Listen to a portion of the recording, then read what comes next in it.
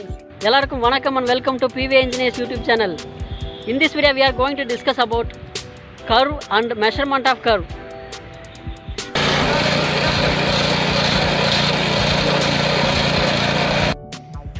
பொதுவாக ரயில்வே ட்ராக்குன்னு பார்த்தோம்னா ஸ்ட்ரைட் ட்ராக்கு கருவுடு ட்ராக்குன்னு ரெண்டு விதமான ட்ராக் இருக்கும் நம்மளோட எய்ம் பார்த்தீங்கன்னா ஸ்ட்ரைட் ட்ராக் தான் ஆனால் ஒரு சில தவிர்க்க முடியாத காரணங்களாலையும் ஜாகிரபிக்கல் கண்டிஷனாலையும் நம்ம கருவுடு ட்ராக் போகிறோம் கருவு பார்த்தீங்கன்னா ரெண்டு விதமான கருவு இருக்குது ஒன்று ஹரிசாண்டல் கருவு இன்னொன்று வந்து வெர்டிக்கல் கருவு ஹரிசாண்டல் கருவு பார்த்தீங்கன்னா left hand curve right hand கருவுன்னு இருக்கும்.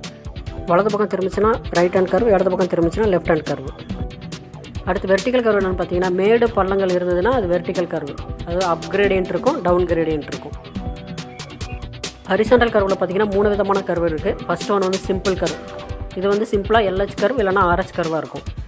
அடுத்தது காம்பவுண்ட் கருவு காம்பவுண்ட் கருவு பார்த்தீங்கன்னா ஒரு எல்ஹெச் கர்வ் இருக்குன்னா மறுபடியும் அது முடியிற இடத்துலேருந்து மறுபடியும் இன்னொரு எல்ஹெச் கர்வ் வேறு ஒரு ரேடியஸில் ஸ்டார்ட் ஆகும்.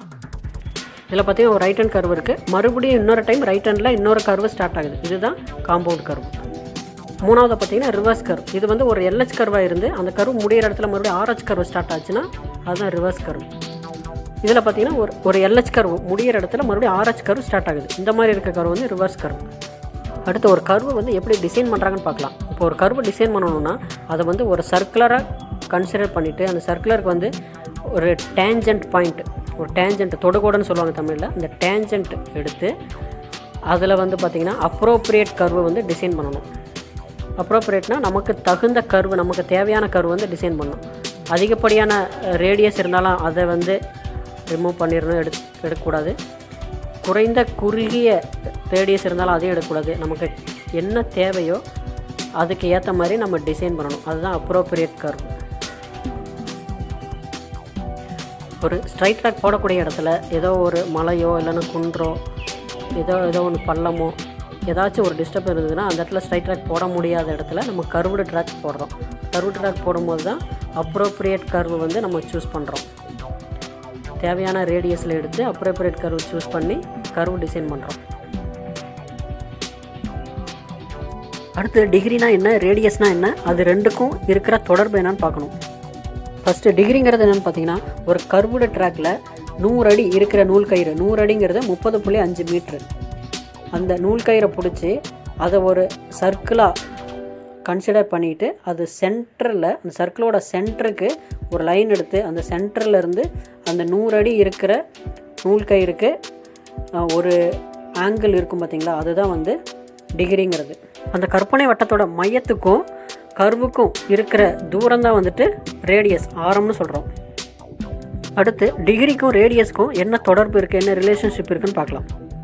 இப்போ ஒரு முழு வட்டமாக கன்சிடர் பண்ணிட்டோம்னா அதோட சுற்றளவு வந்து டூ பைஆர் மீட்டர் இந்த டூ பைஆர் மீட்டர் முழு சுற்றளவுக்கு மொத்தம் டிகிரி எவ்வளோ வரும்னு பார்த்தீங்கன்னா முந்நூற்றி அறுபது டிகிரி அப்போ டூ பைஆர் மீட்டர் லென்த்துக்கு முந்நூற்றி அறுபது டிகிரி வரும்னா ஒரு மீட்டர் லென்த்துக்கு எத்தனை டிகிரி வரும்? அப்படின்னு பார்த்தோம்னா முந்நூற்றி அறுபது டிவைடட் பை டூ பையார்னு வரும். அதே முப்பது புள்ளி அஞ்சு மீட்டர் இருக்கிற லென்த்துக்கு எவ்வளோ டிகிரி வரும்னு பார்த்தீங்கன்னா முந்நூற்றி அறுபது இன்ட்டு முப்பது புள்ளி அஞ்சு டிவைடட் பை டூ பையார்னு போட்டு பார்த்தோம்னா ஆயிரத்தி எழுநூற்றம்பது டிவைடட் பை ஆறுனு வரும். அப்போது டிகிரி ஈக்குவல் டு ஆயிரத்தி எழுநூற்றம்பது டிவைடட் பை ஆர் அப்போது ஒரு டிகிரி கருவுனா ஆயிரத்தி எழுநூற்றம்பது மீட்டர் ஆஃப் டிகிரி கருவுனா மூணாயிரத்தி ஐநூறு மீட்டர் அதே ரெண்டு டிகிரி கருவுனா எட்நூற்றி எழுபத்தஞ்சு மீட்டர் அடுத்து சூப்பர் எலிவேஷன் பார்க்கலாம். அதாவது கருவில் ட்ரெயின் போகும்போது ஏற்படுற மைய விலக்கு விசை அதாவது சென்ட்ரிஃபிகல் ஃபோர்ஸை சமநிலைப்படுத்துறதுக்காக இன்னர் ரயிலை விட அவுட்டர் ரயில் வந்து கொஞ்சம் உயர்த்தி வைப்பாங்க. அதுதான் சூப்பர் எலிவேஷன் இப்போ ஒரு வளைவு பாதையில் ஒரு வண்டி வண்டி வேகமாக போகுதுன்னா அது வந்து வெளிநோக்கி தள்ளப்படும். அதுதான் வந்து மைய விலக்கு விசைன்னு சொல்கிறாங்க இந்த மைய விலக்கு விசையை சமநிலைப்படுத்துறதுக்காக தான் சூப்பர் எலிவேஷன் கொடுக்குறோம். அடுத்து வெர்சைனான்னு பார்க்கணும். வெர்சைன்னா ஒரு கர்வுடு ட்ராக்கில் ஒவ்வொரு பத்து மீட்டருக்கும் ஸ்டேஷன் பிரிச்சிருக்கணும். இப்போ எக்ஸாம்பிளுக்கு ஒரு மூணு ஸ்டேஷன் எடுத்துக்கிட்டோம்னா இருபது மீட்டர் நீளமுள்ள ஒரு கயிறை வந்து முதல் ஸ்டேஷன்லேயும் மூணாவது ஸ்டேஷன்லேயும் நீளமாக பிடிச்சிட்டு மையத்தில் இருக்க ஸ்டேஷனில் இருந்து அந்த கயிறுக்கு இடைப்பட்ட தூரம் தான் வெர்சைன் இதை ஒவ்வொரு பத்து மீட்டருக்கும் வெர்சைன் மெஷர் பண்ணணும். கருவில் எப்படி மெஷர்மெண்ட் எடுக்கிறதுன்னு பார்க்கலாம். ஒவ்வொரு கருவுலையும் கருவு ஸ்டார்டிங்லேயும் எண்டுலேயும் கருவு போர்டு கண்டிப்பாக இருக்கணும். கருவு போர்டில் என்னென்ன இருக்குன்னு பார்த்தீங்கன்னா கருவு நம்பர் அந்த கருவை எல்ஹெச் கருவா இல்லை ஆர்ஹெச் கருவான்னு போட்டிருக்கோம். கருவோட ஸ்டார்டிங் அண்ட் எண்டிங் கிலோமீட்டர் கருவோட டிகிரி கருவோட ரேடியஸ் கருவு மொத்தம் எவ்வளோ நீளம் இருக்குது அதில் டிரான்சிஷன் லென்த் எவ்வளோ இருக்குது இது எல்லாமே கருவு போர்டில் கண்டிப்பாக இருக்கணும்.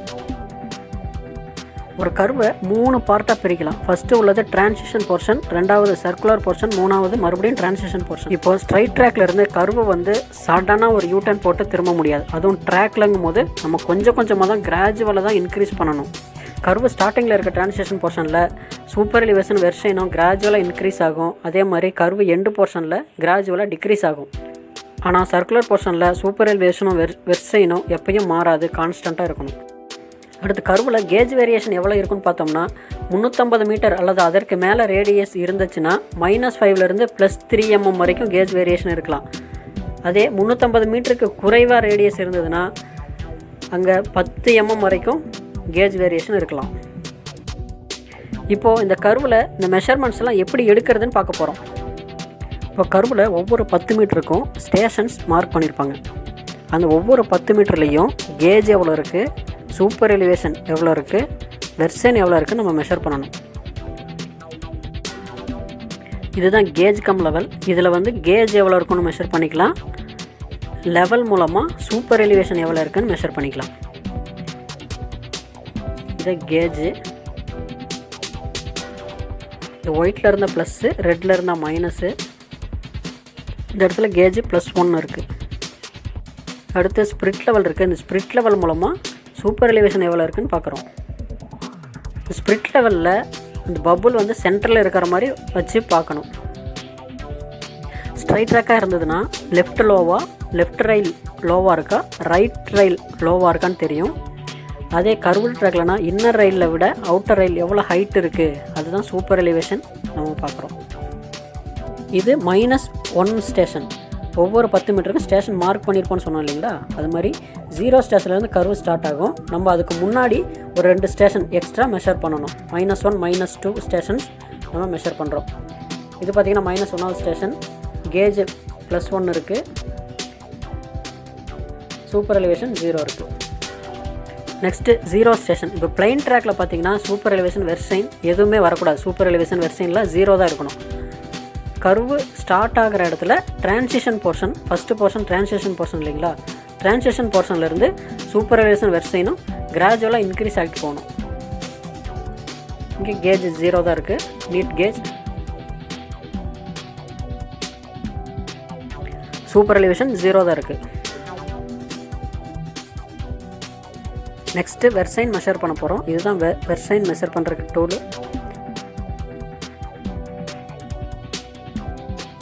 இருபது மீட்டர் நூல் கயிறு யூஸ் பண்ணுறோம் அதுதான் டுவெண்ட்டி மீட்டர் கார்டுன்னு சொல்கிறாங்க இந்த டுவெண்ட்டி மீட்டர் கார்டு வந்து மைனஸ் ஒன் ஸ்டேஷன்லேயும் அடுத்து டூ ஸ்டேஷன்லேயும் கார்டை பிடிச்சிட்டு சென்டரில் இருக்கிற ஜீரோ ஸ்டேஷனில் வெர்சைன் மெஷர் பண்ணுறோம் இந்த வெர்சைன் வந்து எப்போவுமே அவுட்டர் ரயிலில் தான் மெஷர் பண்ணணும். வெர்சைன் மெஷர் பண்ணும்போது வெர்சைன் ஸ்கேல் கேஜ் ஃபேஸில் thirteen to fifteen mm below the rail table தான் மெஷர் பண்ணணும். ஜீரோ ஸ்டேஷனில் மெஷர் பண்ணுறோம் இங்கே வெர்சைன் ஜீரோ தான் இருக்குது இப்போ நல்லா கிளியராக தெரியுது பாருங்கள் ஒரு மூணு ஸ்டேஷன் எடுத்துக்கிட்டோம்னா முதல் ஸ்டேஷன்லேயும் மூணாவது ஸ்டேஷன்லேயும் இருபது மீட்டர் நீளத்துக்கு காடு பிடிக்கிறோம். நடுவில் உள்ள ரெண்டாவது ஸ்டேஷனில் வெர்சைன் மெஷர் பண்ணுறோம்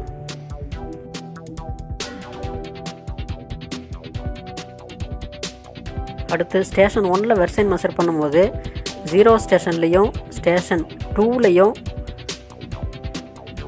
டுவெண்ட்டி மீட்டர் கார்டு பிடிக்கிறோம். வெர்சைன் ஸ்கேலு ஸ்டேஷன் நம்பர் ஒனில் வச்சு வெர்சைன் மெஷர் பண்ணுறோம் இங்கேயும் வெர்சைன் வெர்சைன் எயிட் வருது.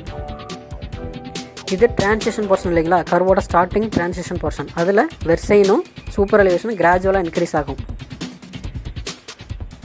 இதே மாதிரி ஸ்டேஷன் டூ ஸ்டேஷன் த்ரீ ஒவ்வொரு ஸ்டேஷன்லேயும் நம்ம மெஷர் பண்ணுறோம்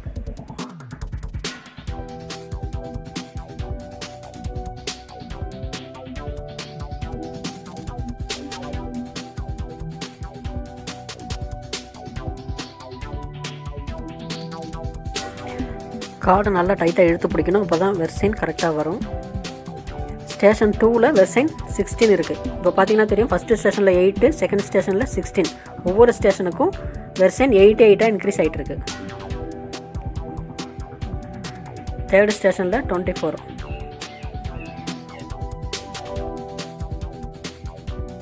அதே மாதிரி கேஜும் சூப்பர் எலிவேஷனும் ஒவ்வொரு ஸ்டேஷன்லையும் மெஷர் பண்ணுறோம்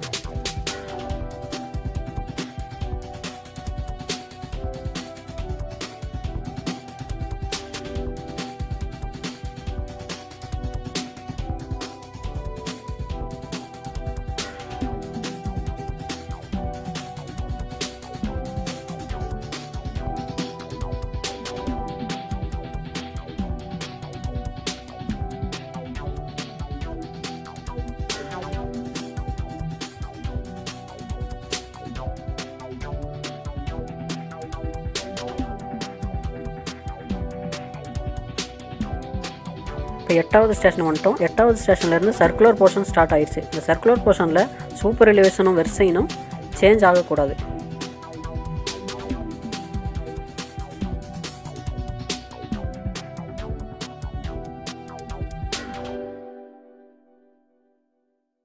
பாருங்கள் வெர்சைன் சிக்ஸ்டி செவன் இருக்குது சூப்பர் எலிவேஷன் ஹண்ட்ரட் இருக்குது இது எப்பயும் சர்க்குலர் போர்ஷனில் சூப்பர் எலிவேஷன் வெர்சைனை சேஞ்ச் ஆகலை.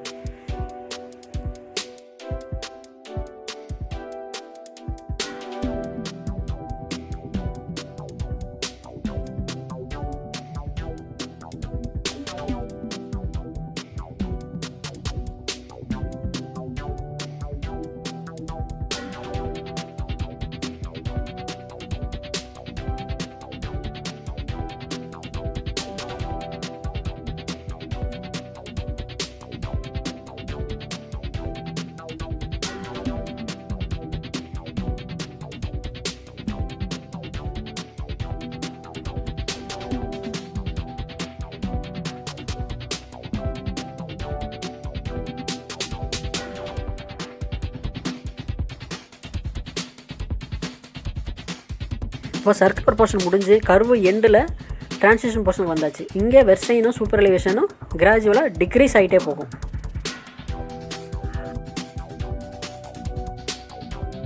கருவு எண்டில் கருவு போர்டு இருக்குது இந்த வீடியோ மூலமாக கருவை பற்றி ஓரளவுக்கு டீட்டெயில்ஸ் தெரிஞ்சிருக்கும்னு நினைக்கிறேன். கருவை எப்படி மெஷர் பண்ணுறதுன்னு தெரிஞ்சிருக்கும்னு நம்புகிறேன் அடுத்த வீடியோவில் சந்திக்கலாம். நன்றி.